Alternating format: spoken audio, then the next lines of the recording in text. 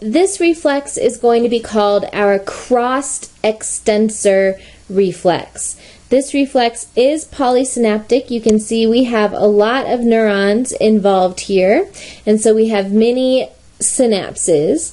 We are going to have responses on our ipsilateral side and on our contralateral side.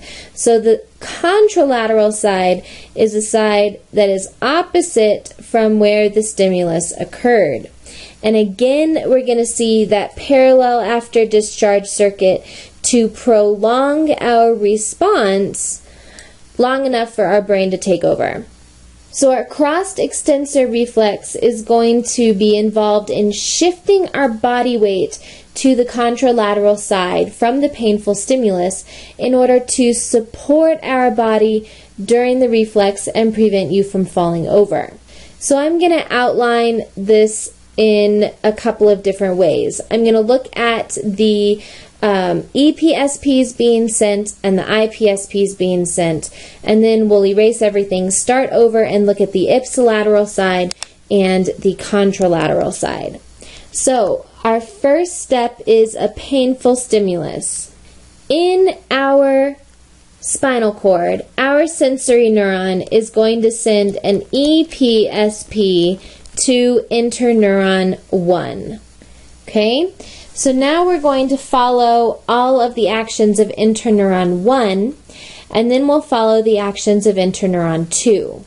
So interneuron 1, which we're going to show in red, is going to send an EPSP to our ipsilateral flexors we're going to send an EPSP to our contralateral extensors, and we send information up to our brain.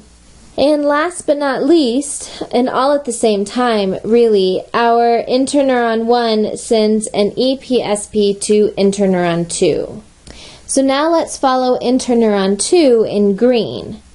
Interneuron 2 sends an IPSP to our ipsilateral extensors, we're going to send an IPSP to our contralateral flexors, and we send information up to the brain.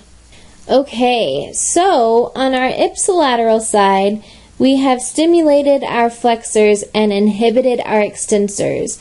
This is going to allow for the flexion of our knee, pulling our foot away from the tack. And we have stimulated our extensors on the contralateral side while inhibiting our flexors, pushing our contralateral side down into the floor so that when you lift up your foot, you are pushing the other one down and you don't fall over. So this is going to continue going until our brain gets those signals and can take over our movements. So now I want to outline this same reflex looking at our ipsilateral side versus our contralateral side. And it's going to be the exact same information, it's just a different way of outlining what's going on. So choose one that makes sense to you, and that's the one that you should use to think about this process. Okay, so we step on attack.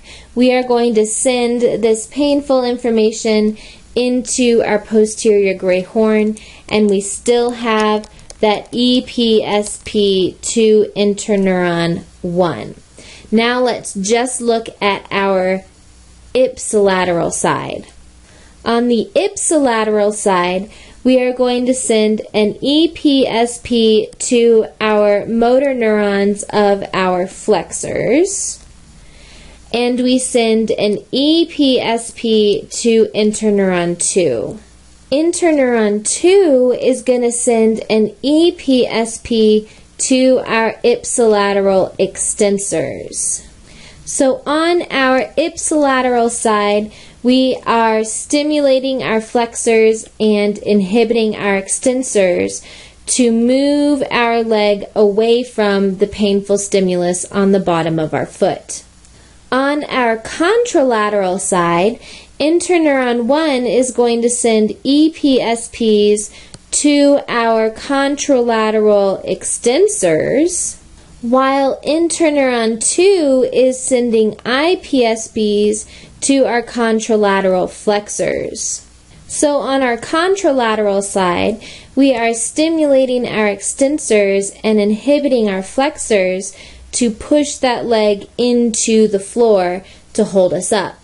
And all the while, we are still sending that information to the brain so that our brain can take over movement.